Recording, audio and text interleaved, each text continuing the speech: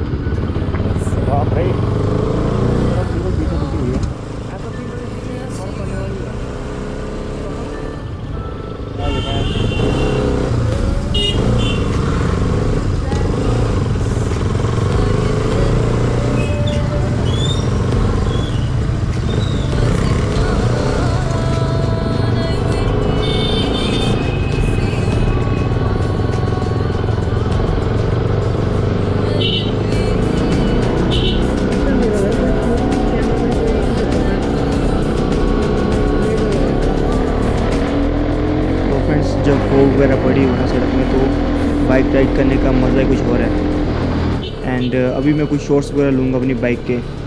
And I hope आपको अच्छे लगेंगे वो।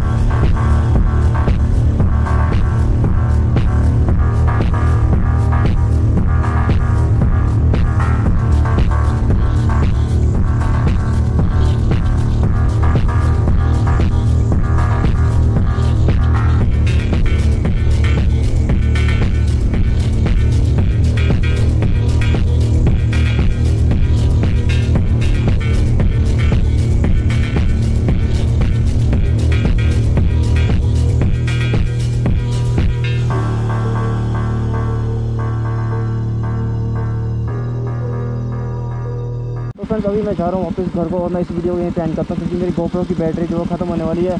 तो ब्लॉग को यहीं ख़त्म करते हैं और फ्रेंड्स मिलते हैं नेक्स्ट वीडियो में। वीडियो अच्छा वीडियो को लाइक शेयर कमेंट करें। टेक केयर फ्रेंड्स मिलते हैं नेक्स्ट वीडियो में। टेक केयर रुको जरा, सबर करो।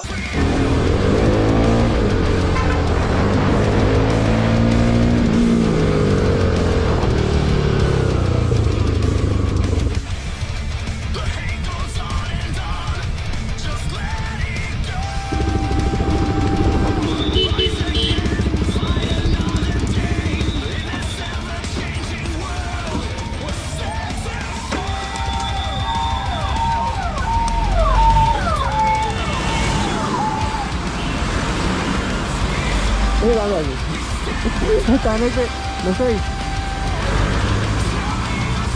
ओ भाई।